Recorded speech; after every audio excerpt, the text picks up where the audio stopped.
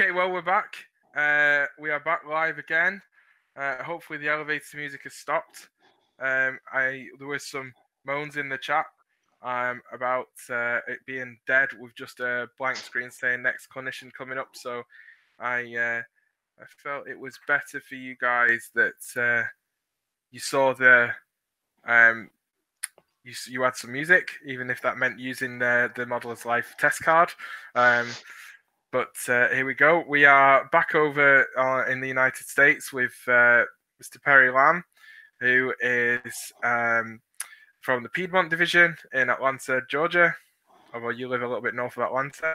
Um, yes, sir. And Perry has a fantastic proto freelance layout. I have seen it with my own very own eyes, um, and um, it is a fantastic layout. It's got its whole whole backstory to the layout that's very well worked out that explains how and why things happen.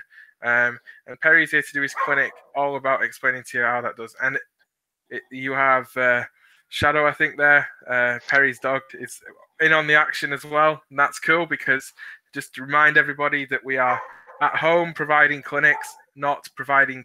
Well, we we are providing clinics at home to you, not um, not at home. You know, not providing clinics from home. So we are uh, doing our best here, and there may be some interruptions uh, from Shadow, but that's uh, that's all fine. Or Steffi, the other dog. So uh, you are going to go full screen, sir, in just a second, and we will uh, let you go. There, Perry, you are on. Good morning, afternoon, or evening, depending upon what part of the planet you're on. My name is Perry Lamb. Um, I am a software support engineer. I support intensive care units um, in all of North America. So, as you might expect, what's keeping us here is what's keeping me employed. It's entertaining. Um, I am the division secretary for the, the board of directors for the Piedmont Division.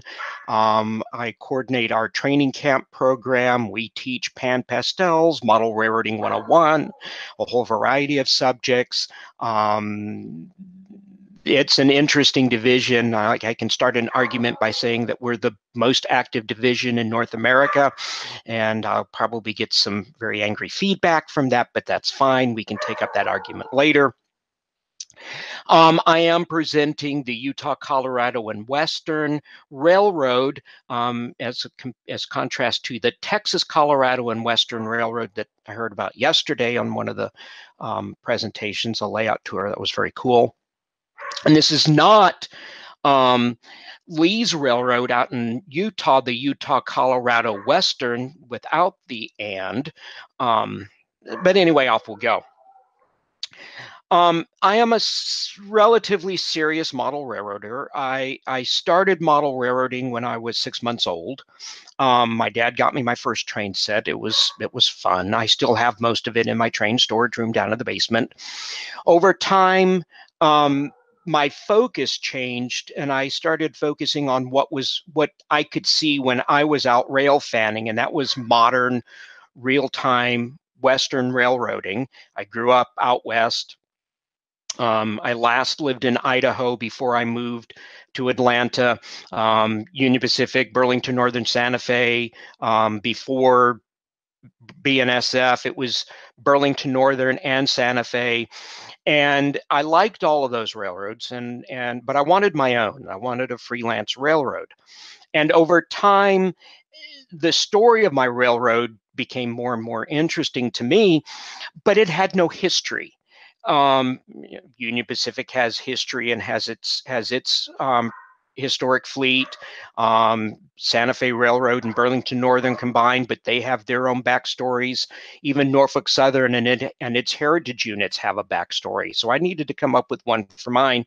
And I started working on the history and coming up with what was what happened how it started in my mind and then started losing track of the details i thought well i should just write them down no, wait a minute, I should write them out on a PowerPoint presentation. And the PowerPoint presentation that um, I'm doing now is, or will be doing now, is one that I developed for the 2013 National Convention that was here in Atlanta.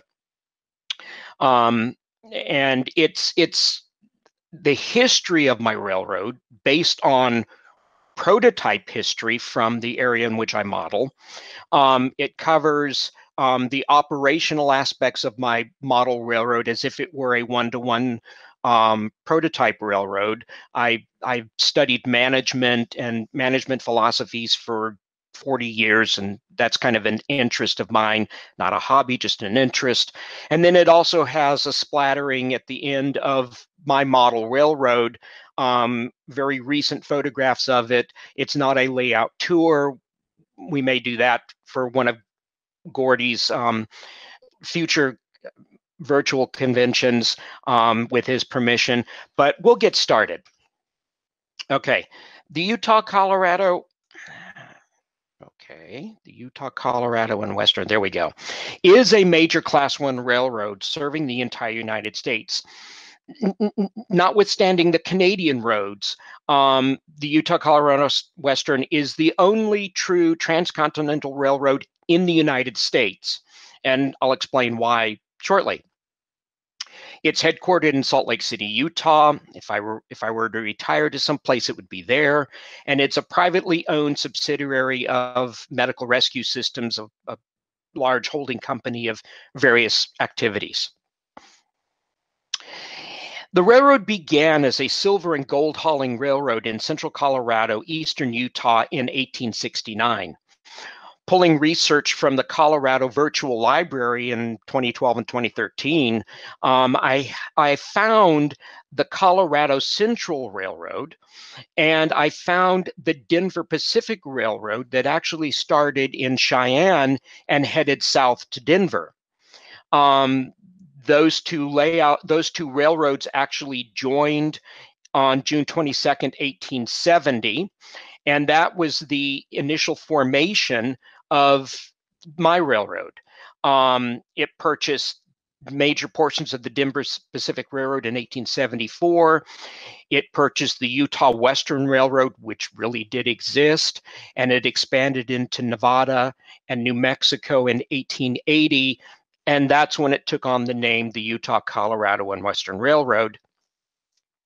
The railroad at that point expanded into California in 1891, headed east and hit the Mississippi River in 1904, and then it purchased the Western Pacific in 1921. Yeah, we we really begin to butcher history at this point, real history.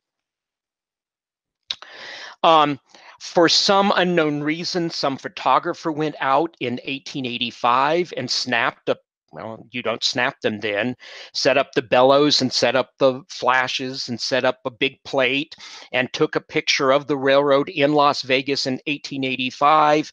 If you look across the screen right along here, I, I think you should be able to see that. That long band there is the track through Las Vegas in 1885 but for some unknown reason, the photographer got a picture of this wagon and horse team, horse team, and missed a train. Silly photographer. They did better in 1889. Not sure exact. We're not sure exactly where this picture was taken. We did find it in the archives, and this is UCNW number nine in 1889. Someplace we think in eastern Colorado. You can kind of tell that by the nothing. Um, this photograph was taken in 1940. This is Utah. This is UCNW 1201. Um, yes, I know someone will probably look at this picture and say, no, it's not. It is a reading locomotive from someplace. I don't care. It's my railroad. This is 3804. This picture was taken as a war bonds promotion in on June 6, 1944. Little did the railroad or the photographer know what else was happening on June 6, 1944. The day was historic, and this picture is, was historic, and this and this actual picture hangs up in the president's office. Um, the locomotive is still in operation. It's it's been re- it it's been restored. It, it is maintained, um, and it runs currently on the railroad today but um, but way back in 1944, uh, this was a grand picture. Okay. The railroad purchased its first EMD diesels in 1936. We purchased the Cotton Belt from Southern Pacific in 1940. We purchased the Southern Pacific in 1964, just bought it out. We purchased the Denver Rio Grande Western in 1980. And we purchased most of Amtrak routes and its equipment in 2001 and 2009. Um, there's a little bit more about that later, but um, Amtrak is now a, a functioning um, money making operation because it's run like a business, not like a bureaucracy. The biggest thing that surprised people was back in 2009 when the UCNW paid cash for Norfolk Southern. The issue was intermodal trains from the West Coast were headed east and they'd get to St. Louis or someplace near Chicago and disappear into a black hole and never never to be seen again. And a couple of days later, the trains would continue on their route. Um, but by then, they were really seriously delayed. And we got tired of it. So, starting early in 2008, we started purchasing um, Norfolk Southern stock in great quantities. By the time word got out, we we had sewn up most of Norfolk Southern with all cash purchases.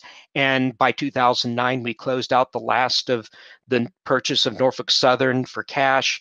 And Norfolk Southern is now wholly owned by Utah, Colorado, and Western. We'll cover more of that later. And in July of 2009, this was the symbolic meeting of Norfolk Southern 7202, which had just been restenciled, and our 94 14 out in the mountains of out in the mountains of um, Idaho.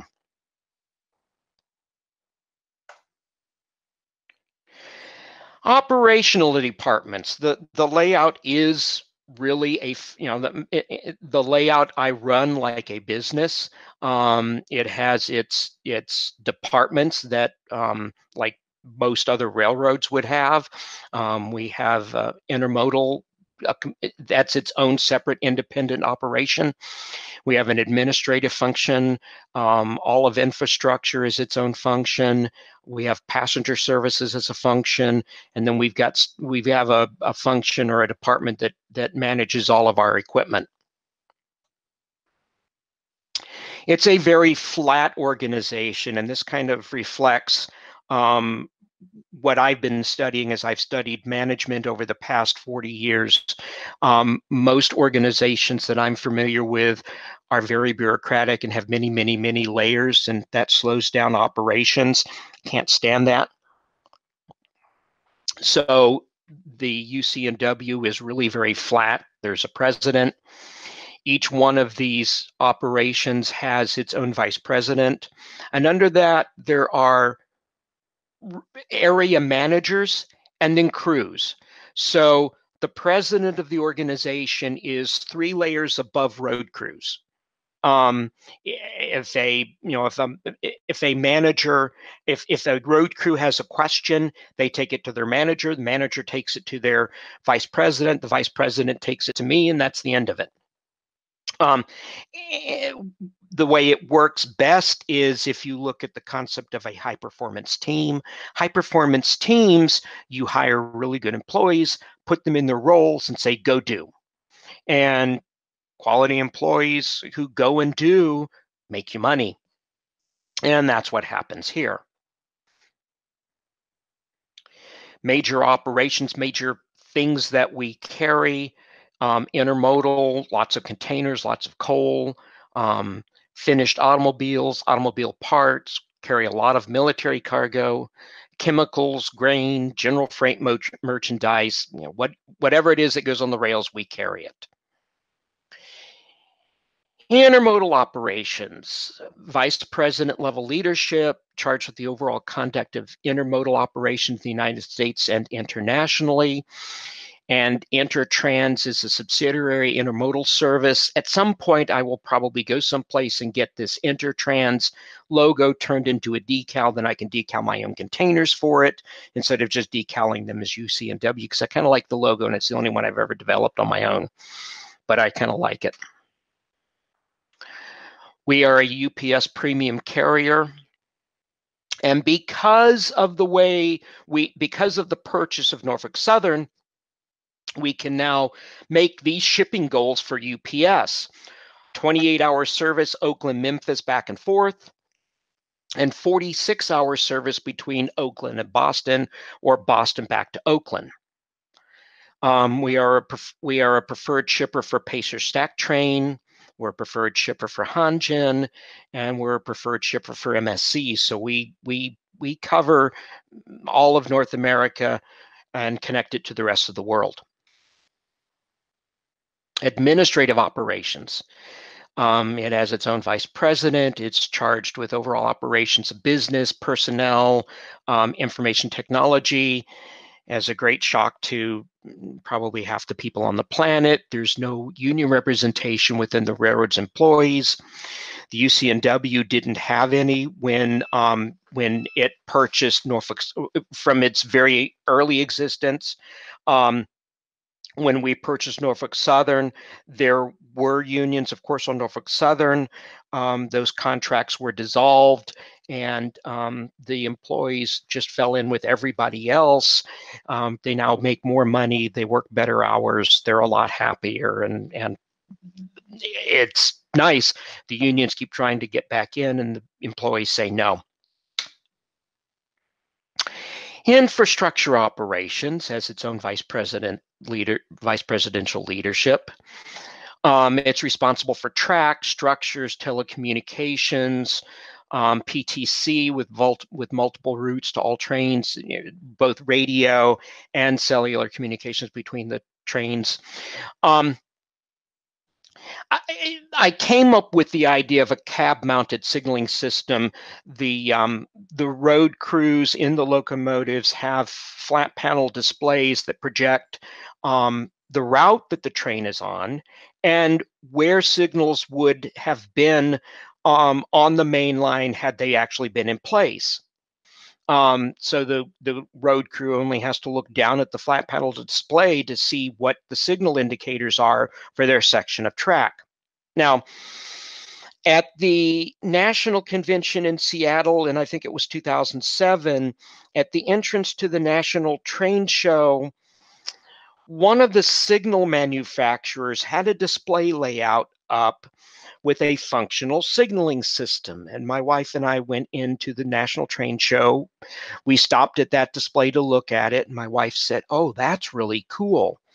You need a signaling system on your model railroad.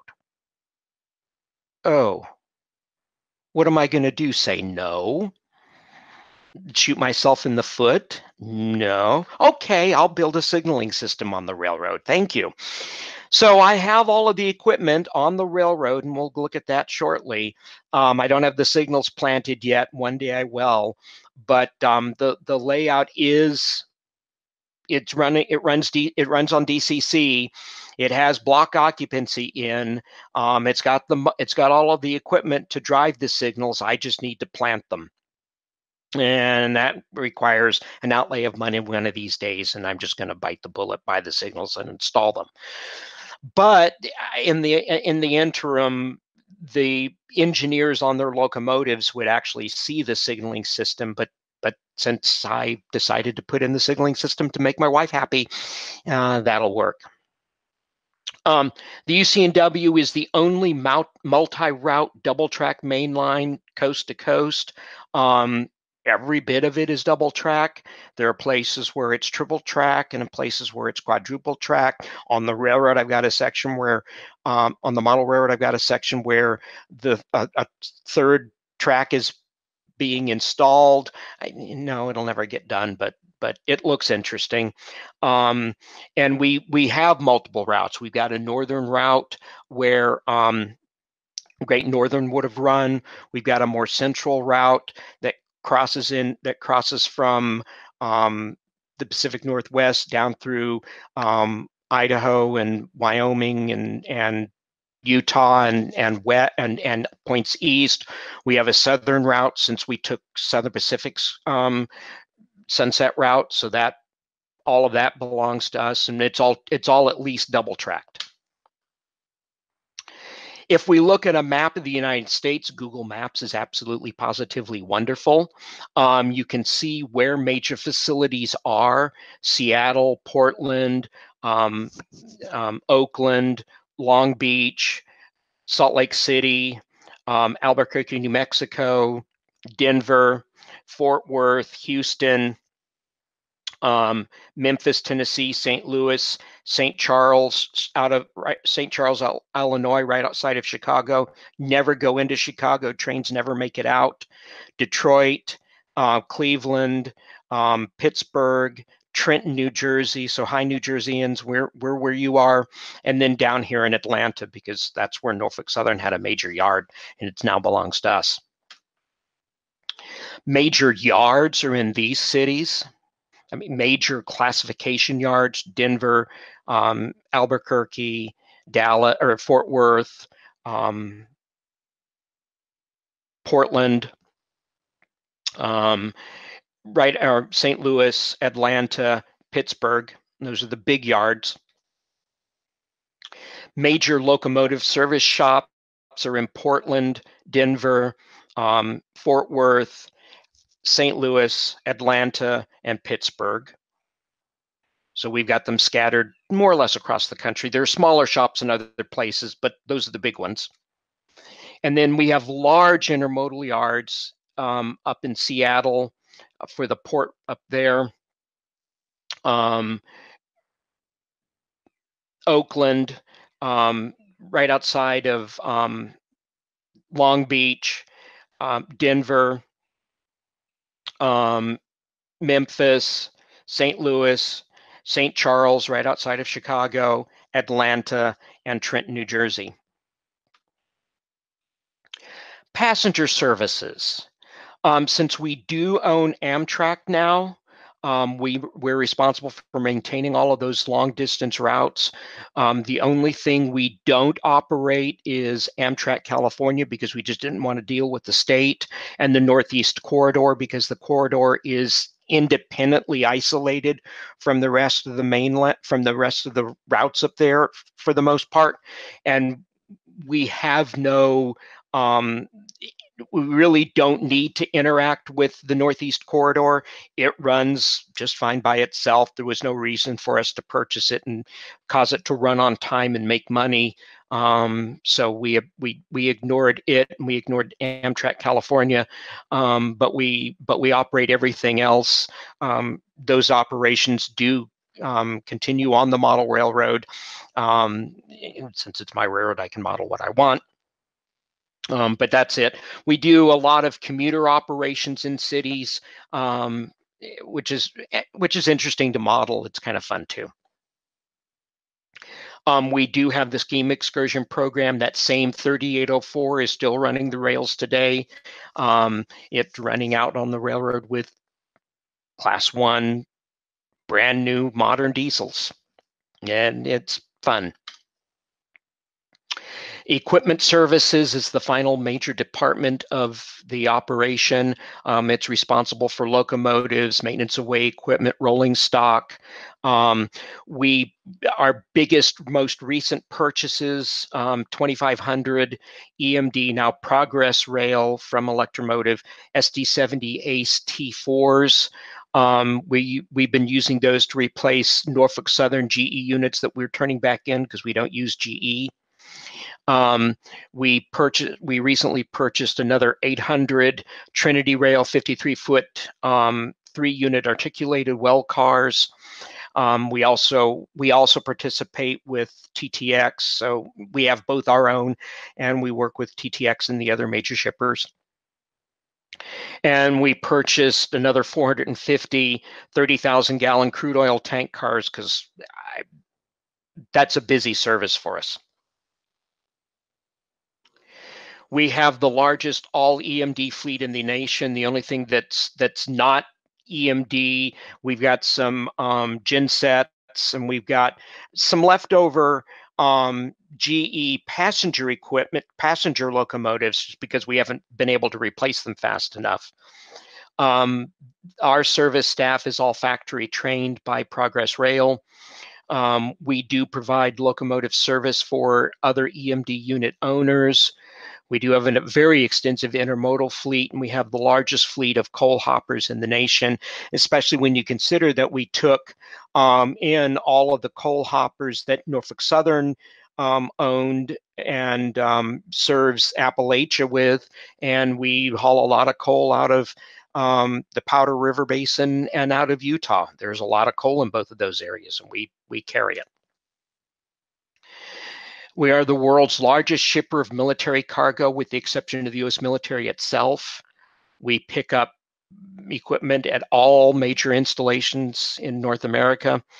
Um, we can deliver it coast to coast, and we can even pick up and carry around M1A2s. Um, I'm semi patiently awaiting an order of um, the DODX 72 foot long six at or six wheel truck um, heavy duty flat cars the 41 here 4100 series flat cars. They're supposed to be out sometime i hope this year because then i can add them to the railroad. Additional things that we do we provide ems and fire department grant services. I, i'm a former paramedic so ems and fire departments are kind of close to my heart i was a former paramedic went to the fire academy um, and I, I, just have a soft spot soft spot for them so we grant money to them especially in our areas of operation um, we do have a fleet of helicopters. I know we're supposed to run everywhere by train, but we don't. Um, we provide services for those. Um, or with our helicopters. We can provide and have provided disaster communications and services. Um, we do rebuild equipment for others. We lease locomotives and intermodal equipment, and we do land and resource management. It's interesting because the owners of the original gold mines and silver mines that founded the original railroad back in the 1800s um, that all of that land and all of the mineral rights fell in with the railroad as the railroad grew and all of that property and all of the mineral rights are still owned by the railroad and with changes in mining technology and um, um, increases in precious metal prices, a couple of those mines have been have been reopened or are in the process of being reopened, and so we're also in the business of mining gold. Okay, the railroad itself. The model railroad is in a 43 by 14 foot room. Um, it's double decked. It walk in around the walls. The dual the staging yards are stacked on top of each other along one wall. There's a one and a half turn helix that connects the two levels, and the total mainline run is about 350 feet or so. Um, I run Lenz DCC. I'm the only. Well, no, there are two Lenz DCC operators in in um, the Atlanta area, eh, which is kind of to be expected, given that Digitrax used to be he- headquartered here. One of the members of our operating group um, worked for them. There are a lot of Digitrax users in this area of the planet, and so I have to own all my own throttles. Um, I use Micromark car cards and way bills. But then on top of those, I, have produced my own switch list. So road crews take their car cards and way bills, mark up their own switch list so they know where they're going and what they'll be switching. Then the dispatcher dictates track warrants out to the operators. The operators um, record the instructions, read them back. Both the dispatcher and the operator approve them. Um, and the dispatcher then tracks the tracks track warrants um, when they're in use, when they expire on a on a train tracking sheet on a on a tracking sheet for those for those particular trains. Um, it is a double track main line. I do have a helper district built into the railroad. Um, very heavy mainline freight operations, um, Amtrak passenger service, um, steam excursions, and I'm a um, Santa Fe Super Chief fan. Um, I my family rode the Super Chief from Los Angeles to Chicago back in 1970 right before, of course, um, Amtrak took over operations for all the major railroads. Um, and it was class service back then. I, I don't remember tons about the trip, but I do remember it fondly. I remember waking up in the middle of the night at one station stop and seeing lots of snow. But because the train was a Christmas train headed to headed to uh, Chicago for Christmas, there were a lot of kids on the lay on the on the train, and there were I if I remember correctly, two pleasure domes on the train. And one of the pleasure domes, the kids took over as a kid car. And I remember very clearly being up in the pleasure dome on the Super Chief headed um, headed east, and at that same um, convention in Seattle, the wine dinner train that was up north of Seattle. I don't think that train is there anymore. Someone may be able may be able to correct me if I'm wrong, but they had a Santa Fe pleasure dome. And during the stop in eh, halfway through the trip up at the winery, I went into the car and climbed the kind of semicircular um, stairwell up into the pleasure dome and i stood there for a moment as i as i climbed the stairs and I've been here before. And I have no clue if it was the same um, pleasure dome that we had as a kid on the Super Chief, but I, the feeling the feeling of nostalgia was stunning. And I've loved the Super Chief ever since. And so when Walthers announced the Super Chief many years ago, I bought the entire set. I now run it on the railroad behind um, a matching set of F units, and that's on excursion service as well. I love the Super Chief and the El Capitan cars, and so they live on the railroad too. Um, on the railroad, my lower level staging car staging yard is um, east. The upper level one is west. There is a division point yard in Salt Lake City, and then there are industrial districts in Salt Lake City, um, Mystery, Idaho, and then the mountains in Oregon and Washington. Um, we have a local. I have a locomotive service facility, division point yard, an intermodal yard, industrial areas, a U.S. Army training facility. Um, of course, lots of mountain railroading, and I've got a section of winter. And there was a um, there were there have been some things about winter modeling recently in the media, and it's been kind of cool. And I model winter on mine. I took a took a giant leap one day, and she said, okay, this is what I want in this area. I've got a picture of what I kind of want, and I and I'm very pleased with it. I'll show you what it looks like in a little bit. The layout is under construction by members of the North Atlanta Rail Barons Operating Group. Mm, got my logo shirt on. Um, all the bench work is in. The scenery is about 70% complete. Uh, all the electric wiring is in. Um, equipment panels are in place and wire, and I'll show you what one of those looks like. It's not one of the prettier ones, but it's one of the more accessible ones. Um, the room is nice and completely finished, resets, recessed LED lighting on dimmers. Um, I can kill the power in the room when I leave just to make sure I don't leave anything on. Um, all of the circuits in the room are on their own circuit breakers. Um, so that's all that's all well done. Um, i had the room wired that way on purpose.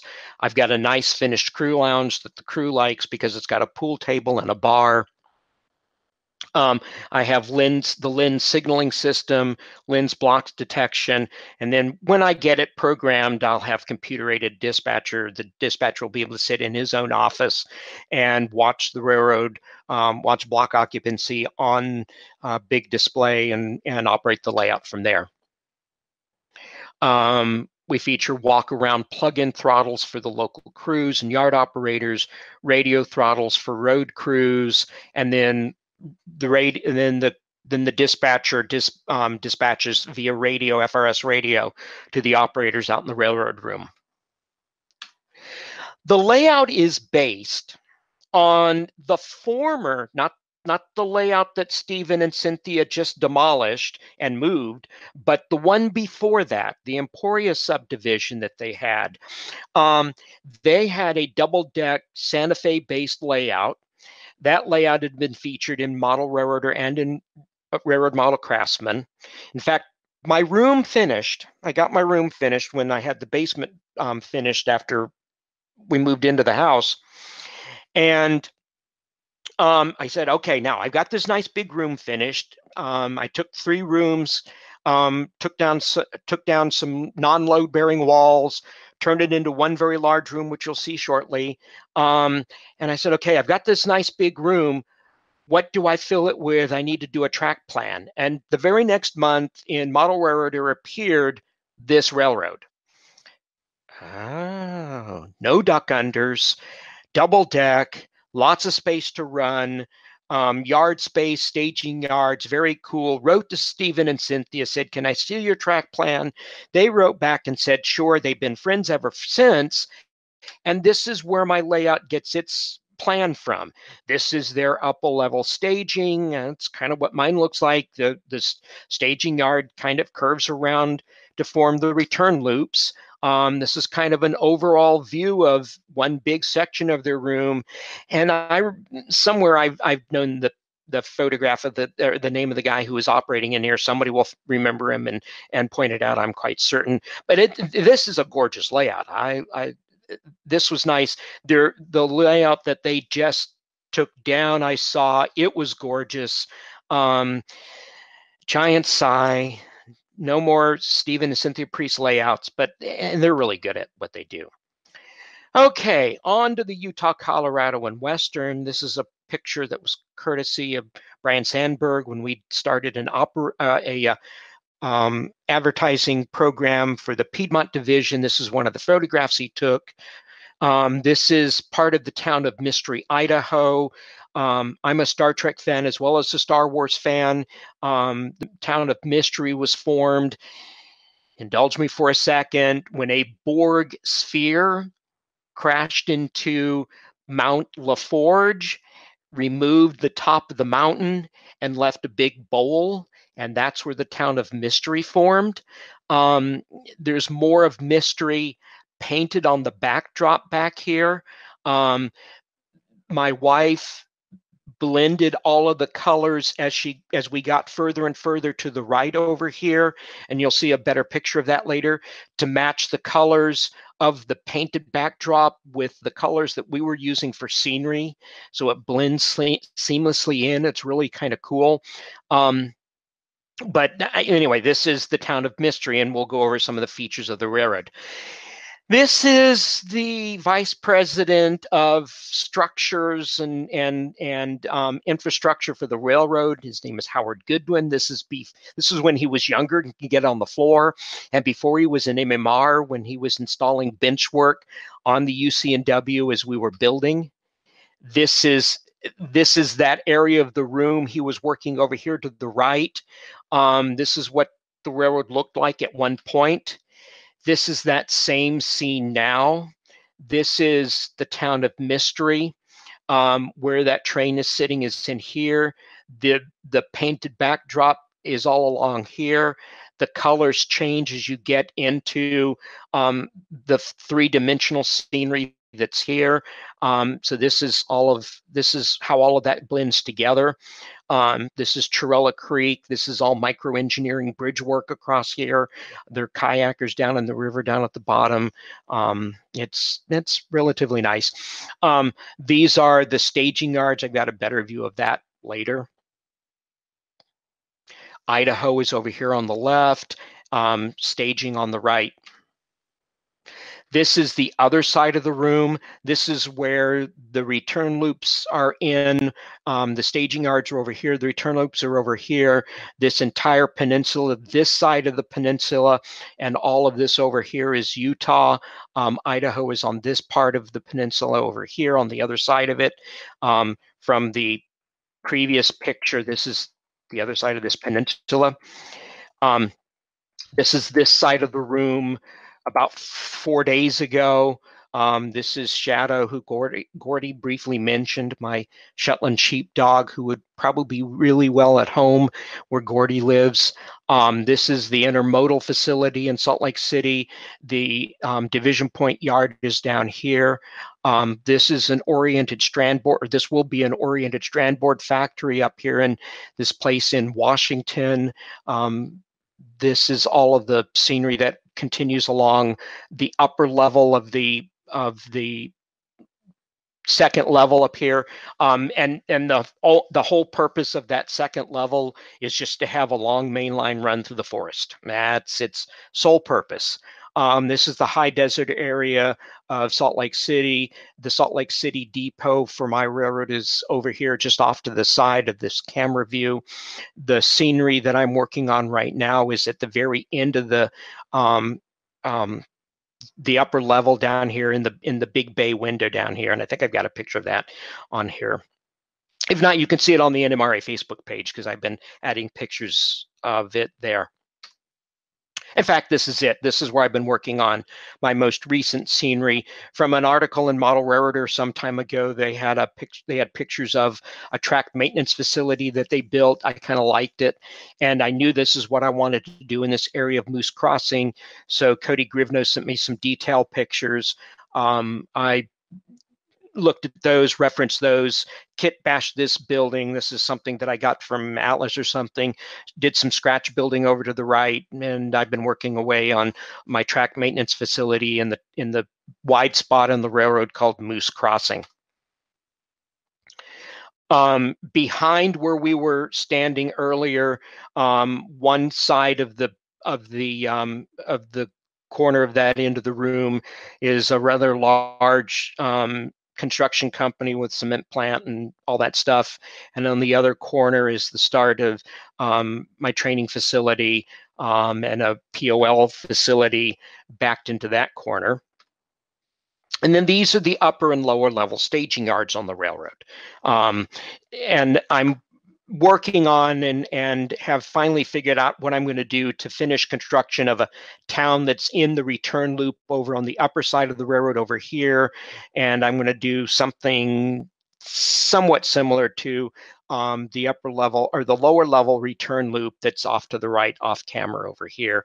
Um, I've got my car carts and waybill car cart boxes for both levels of the staging yard. We just stage trains into here. And since they're double ended yards, we can um, restage the layout during operations, which makes it nice. Um, here's a section of northern Utah. This is actually the the the one of the main advertising images for the Piedmont division and in their literature are our trifold features this on its cover, which is yeah, kind of cool. Um, here is um, 3804 on one of its um, runs through, um, in this case, headed coming out of the helix, headed towards Mystery, Idaho. And here is winter. I I I uh, I knew I wanted a picture of this. I off to the right, off of camera, I have a picture of a Union Pacific mainline um, double track um, and a train running through it through very red canyons. I'm not sure where it is. I have absolutely no clue. The you know, very red rock and very light snowfall over it. Really kind of a cool picture. And I I I've I'd had it hanging next to this this area on the railroad um, for quite some time. And I was never really brave enough to to jump in and and finish it and and have the snowfall on it. And so I finally decided, no, I need to get it done. Um, built the retaining wall, added all the rock work, added the extra rock work and all the trees and all that stuff all around here, did all of the ballasting, got the scene completely finished, all in its beautiful greenery, built a test section, a small diorama, and snowed on it using woodland scenic snow. Very pleased with that, except that when I brought it inside and looked at it, applied the snow outside, fixed it in place with hairspray, brought it inside, and everything was yellow. Not from that. Um, and I thought, this is very strange and then realized it was because the lights that I was holding it under in the bar in the crew lounge were yellowish incandescent soft white lights and that turned everything yellow. Brought it in here to the railroad room cranked it up um, and under the daylight bulbs from the leds it looked back to white like it was supposed to so i finished the scene This is not prettiest, but this is one of the control panels. These modules perform both block occupancy and drive signals.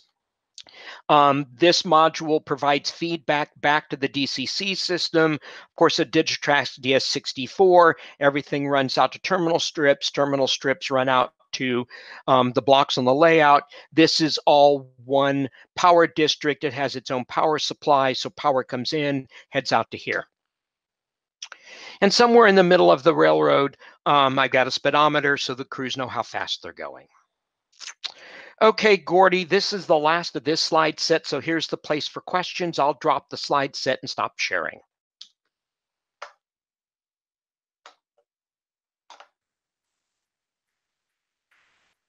Cool. Thanks, Perry. I think that really um, helps people um, understand just how much really goes into uh, doing a, a freelance uh, model railroad.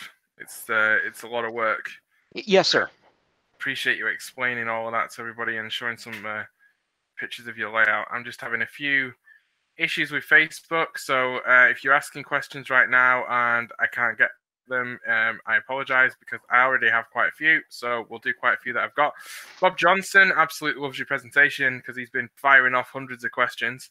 Um, Thanks. So, which is great. Um, so, uh, his first question that he put was: Given that your company is a product of so many mergers, have you um, have you standardized uh, equipment, or do you just have a vast variety of horns and cab designs, etc.? No, and if I actually I have a clinic on detailing diesel locomotives, and it follows. So all of my locomotives, all of the current purchase of locomotives, and everything that we've inherited, all gets rebuilt in the shop, so it all matches the same family. Same cab air conditioners, same horns, um, same rotary beacons, same radio antennas, the, the whole nine yards. Good question. Awesome. Okay. Um, so we will just go to his next question, which was it's impossible. Well, he said you can't possibly model the entire US. So why did you choose not to model a smaller railroad that fits a more limited geographical footprint, uh, i.e., an area that you can model? Uh, would that not have made more sense? Well, and to a degree it would. I have two separate branch answers to that. One is if Godzilla came along and stepped on my house and wiped out my railroad, I'd start again, but I'd do it in N scale so that I could better represent um, the vast open spaces of the Western United States. But I do exactly the same thing. The alternative would be to do um, an industrial railroad, and I do you know a 43 foot by 14 foot room with in, with in, with just industry in it and a yard would work really well but I like big time freight railroading. Um, if you actually went and walked the layout, which we might do at a later on a later one of these conventions, you'd see that yes, I have condensed vast vast areas of space of of distance in the western United States down into a 43 by 14 foot room. I, it, it's a compromise, but so is all of model railroading. I, I like mainline freight. I like heavy mainline freight, and I like today. And so I just keep updating the layout, but I, I don't have a really good answer for you. Um, I, I, I like it. Okay, no, that's fine. But we can keep short answers because we've only got five minutes left. I'm looking over here at you and you're in front of me, which is a bit daft, but never mind. Um, okay, final question from Bob um, was uh, Thank you for being such a champion of freelancing. Have you ever taken flack from the rivet counting prototype modelers? No, actually. I, I might one day if someone walks in and says, Well, you've got like Norfolk Southern's 911 locomotive, 911 locomotive, um, and it's not re-stenciled. Well, yeah, because it's gorgeous. Um, but no, it's my railroad. But nobody has walked in and said, "Oh no, you can't do that," which is nice because I would just send them away. okay, don't be sending me away. I've got more questions. Yes, sir. Uh, okay, so uh, next question is how did CSX avoid being swallowed up by uh, your railroad? That was from Jeffrey Youth. Norfolk Southern was just a better match for what we for what we needed um, to connect our western routes to the East Coast. So eh, it was just the logical choice. No particular reason. CSX still exists, and I still have, and I have CSX equipment on the railroad. Okay, that's fine. Uh, Jeff Schultz uh, asks, um, "What did you do for the two years that EMD couldn't supply Tier Four units?" Lots of rebuilding. We have we have a fair we still have a fair number of SD forty threes running around the railroad. Okay, that's cool. Um, everyone loves an SD40. Can't go wrong with an SD40. Um, Dave Goodwin uh, asks, um, or Dave Godwin, sorry, uh, your railroad is coast to coast. So is the UC and W larger than CSX and NS? I think this might have been asked before you mentioned swallowing up the NS. yeah, we swallowed it. it. It is far larger than NS. It is far large. Well, NS no longer exists, but yeah, it's larger than UP, larger than BNSF, and far larger than CSX. Uh, on a okay. distance wise, it's probably equivalent of Canadian National. Okay, I, I can go for that. I, I, I model the Canadian National, so that's fine.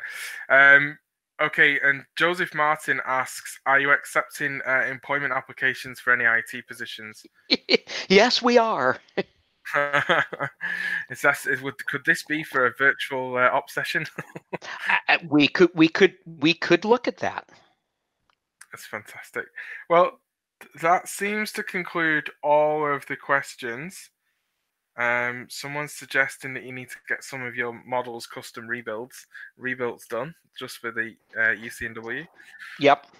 Um, I think that's yeah. I just want to make want to end with one comment that people may have missed from uh, Brian, uh, just missed Brian's name, Brian Ford, um, who says he remembers doing an op session on your layout and getting grief because uh, the passenger trains and the intermodals were not, the engineers were running at less than the speed limit. you uh, run your layout very quickly. Is this to keep the theme, or is this just because you like seeing the trains go fast? No, it's just it's just for the theme, and uh, since then we've kind of reduced speed limits on the railroad just because it kind of helps with the lack of distance. Okay. Well, there we go. That's all the questions. Thank you, Perry. That was great. Really interesting. Something a little bit different for everybody. Um, what we'll do now is we'll just sign off. Uh, everyone, the stream's going to go quiet. There'll be a holding card on there. Uh, I'm not going to subject you to the elevator music for this for for, um, for this break. Uh, when we come back, we will talk to uh, Mr. Tom Gazier MMR, and we will have a virtual layout tour. So stick with us. You've got probably five five to eight minutes to go do a pee break or uh, get a brew. That's a coffee in English. Um, that's not a brew as in a uh, distilled or alcoholic wobbly pop. That is a coffee or a tea or a glass of water, and we'll be right back at the top of the hour with uh, Mr. Thomas Gazier, MMR. So thanks, Perry. We'll sign off. We'll see you later. Thanks, Gordy.